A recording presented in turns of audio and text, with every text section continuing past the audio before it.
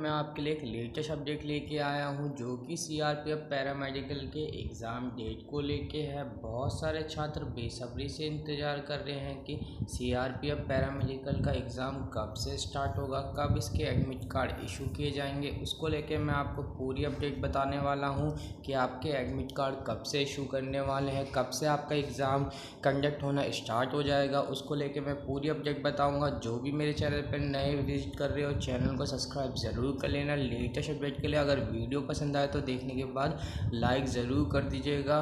चलो मैं आपको वो ऑफिशियल अपडेट पे ले चलता हूँ, जो कि C R P F paramedical के एग्ज़ाम को लेके है। जैसा कि मैं आपको ये ऑफिशियल अपडेट दिखा रहा आप देख सकते हो C R P F paramedical exam date 2022 admit card उसको लेके ऑफिशियली क्या अपडेट बताई जा रही है, आप देख सकते हो सीआरपीएफ पैरामेडिकल का एग्ज़ाम कब से स्टार्ट होने वाला है, आपको मैं दिखा देता हूँ।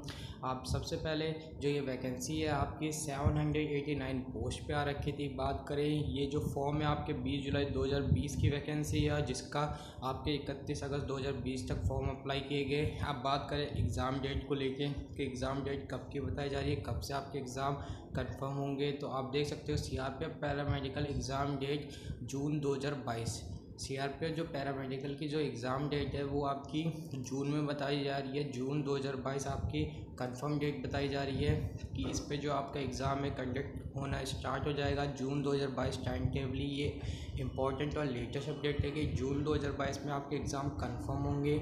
और जो बात करें आपके एडमिट कार्ड कब तक इशू होंगे तो जो आपके एडमिट कार्ड होंगे, वो आपको जून फ़र्स्ट वीक या मई लास्ट वीक तक आपको एडमिट कार्ड इशू कर दिए जाएँगे और जो आपका एग्ज़ाम है वो जून 2022 में करा दिया जाएगा किसी भी सेशन में। अब बात करें, जो भी अभ्यर्थियों ने इसके लिए अप्लाई करा है वो इसकी तैयारी ज़रूर कर लीजिएगा क्योंकि आपके जून 2022 कंफर्म डेट इनकी तरफ़ से अनाउंस कर दी गई है कि जून में आपके कंफर्मली एग्ज़ाम होंगे। अगर वीडियो पसंद आए तो लाइक कर देना, चैनल पर नहीं तो सब्सक्राइब कर लेना, लेटेस्ट अपडेट के लिए।